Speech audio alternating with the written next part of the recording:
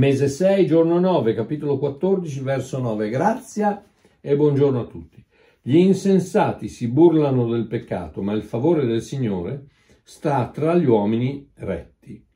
Per molti anni nel, nella mia vita ho pensato che la legge dei dieci comandamenti fosse il modo con cui Dio mi teneva sulla retta e stretta via che mi avrebbe infine portato a Lui. Errato.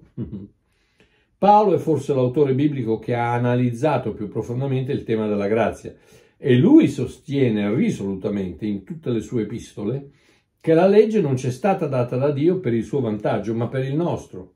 Che cosa intendo dire? Dio non basa il suo rapporto con noi sul nostro comportamento, tra parentesi, il rispetto della legge.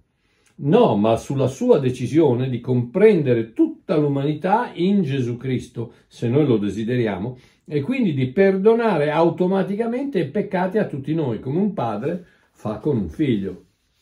Allora perché la legge?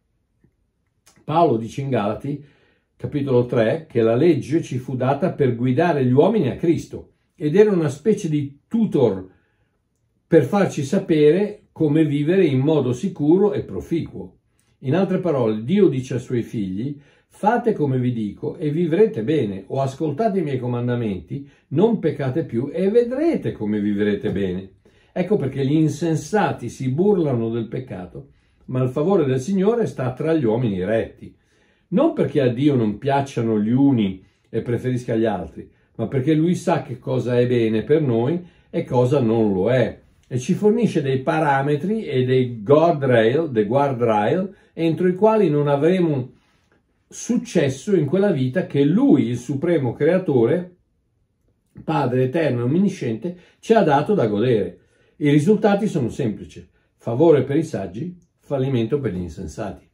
Oggi, oggi mi ricorderò che Dio conosce meglio di me dove sta il successo e seguirò le sue istruzioni e i suoi comandamenti per arrivarci. A domani.